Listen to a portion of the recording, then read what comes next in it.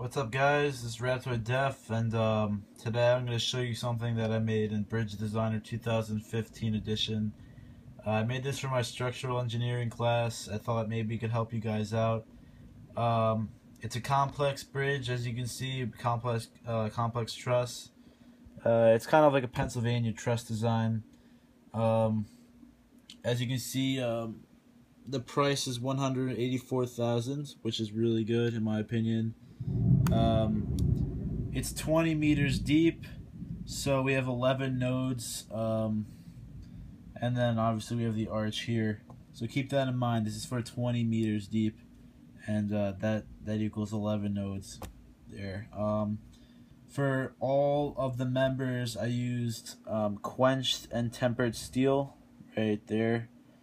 That's actually the strongest and the lightest material the, the strongest and the cheapest material, I should say.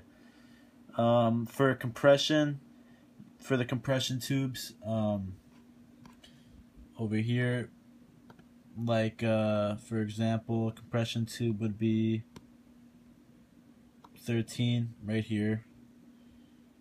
That uh, all the compression tubes are made of hollow tubes because hollow tubes are good under compression and bad under tension. So for the compression members, use hollow tubes. For the tension, use solid bars. Um, I played around with the different um, thicknesses of the members, and that's what I got it to. I had a hundred, uh, 245 iterations, and here's the member list right there, so you guys can check that out.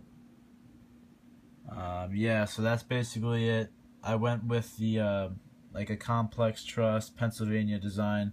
I think that when it gets to um, higher up um, elevations, that's the way to go, making like an arch um, instead of like a, you know, just triangles, like a simple or uh, yeah, like a simple truss. But um, anyways, that's what I got for you guys. I hope this helps on your projects or whatever.